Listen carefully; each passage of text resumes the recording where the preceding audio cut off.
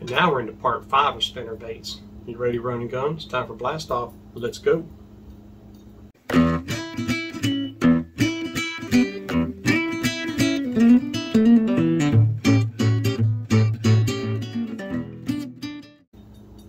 Hey guys, Todd here with you. Welcome back to Bassin 101.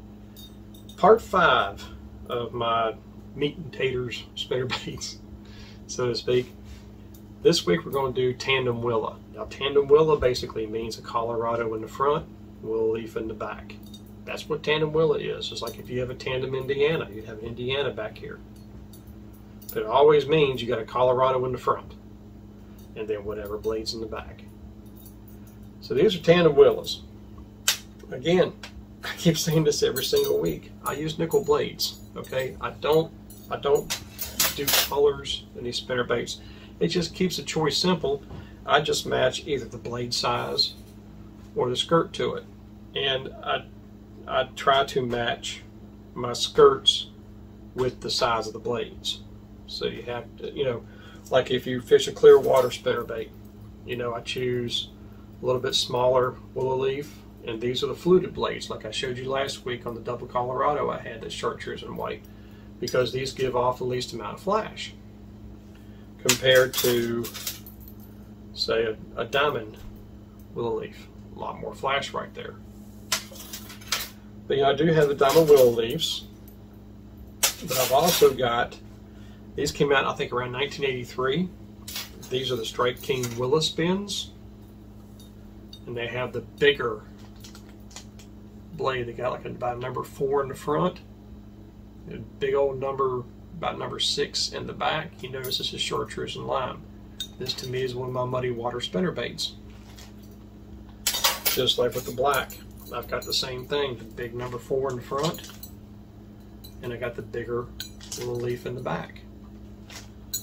So that's, um, that didn't spin very well, did it? Because it had the blade in the way. There you go. And even with the flutes, it still puts off flash. So I really don't mind that one way or the other. But now, you know, this is another version of the willow spin. Um, just has a little bit smaller willow leaf in the back, a little smaller Colorado in the front.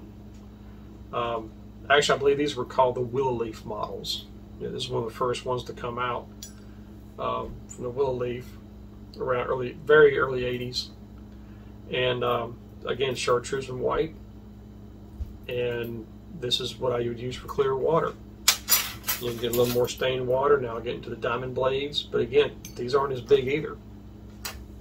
Same thing with chartreuse and blue. It has a little bit bigger diamond blade in the back. This is about a number four and a half. These are number four. And uh, a little bit more flash off that dude with chartreuse and blue. You know, chartreuse and blue is one of those kind of colors it works about anywhere. Yeah, clear water, muddy water. It's just really, you know, I, I call it the Hank Parker, Jimmy Houston color. That's what I call that. And there's also chartreuse blue and white, which is also a really good combination. But you can't carry them all. It just depends on what mood you're in. And believe it or not, a lot of this just depends on what mood I'm in. Now, when do you use a tandem willow? Well, to me, a tandem willow is one of those blades, or one of those kind of spinner baits, when you're not really sure what to throw. You know, I said this with the quarter ounce video I did, that if you don't know what kind of spinner bait you want to throw, start off with a tandem willow. That's probably going to be your best bet. And then you can kind of dial it in from there. Maybe, you know, maybe the kind of water you're fishing might work better with a single thumper, or maybe the depth of water you're using, you might want to go with a different kind of blade, or maybe the wind's blowing, you might want a little bit more flash. Maybe go to a double willa. Um, you just kind of have to, you know, play the game on the water and figure out what you want to throw. A lot of times, it's just what mood I'm in, and the mood that you're in, it all comes down to confidence.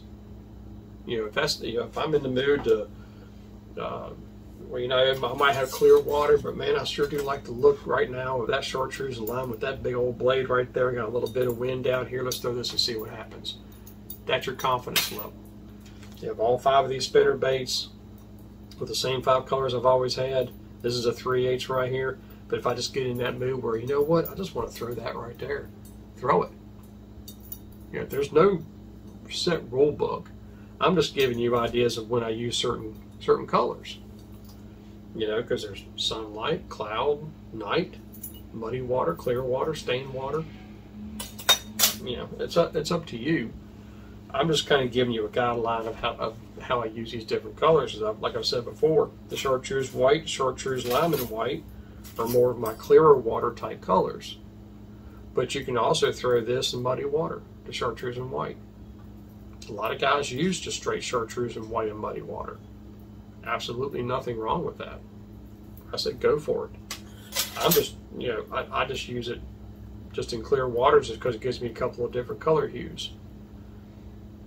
Again, you know, like I said a couple of videos ago, is why I don't use white by itself or chartreuse by itself because with a rubber skirt, it's solid, it's a bold color.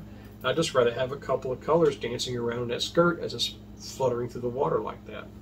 Your silicone skirt doesn't have as much action as these, especially if you spray these dudes with line and reel magic. And, you know, again, I can use this in clear water, especially on a windy day. It's got that big old willow leaf right there and I can throw this in, you know, on a windy day, get some more flash out of it. Um, or if I've got really shallow water and a lot of cover, that big old willow leaf there might might play play the game for you. But the the tandem willow is hands down probably the best choice to go to if you don't know what you want to throw, because it can pretty much do it all. You can still take a willow leaf and flutter it, as I've explained to you before this is actually a half ounce right here. But you can explain, you know, like I explained before, you can take a willow leaf and flutter it, but you can't flutter it as slow as you can a Colorado because you'll tend to kill that blade back here. It's not going to kind of go like this in the water instead of spinning on its axis. You know, have a tendency to do this as you're fluttering it, then it will be that if you put some speed on it. So not the best blade to flutter, but you can flutter these. I do it all the time. So it's you just have to keep it moving.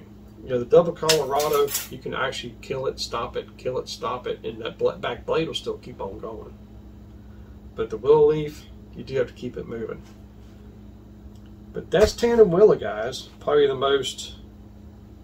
Uh, yeah, if I'm not sure what I want to use, it's the it's the most versatile spinner bait as far as well, if I don't know what to throw because you can do a lot with these.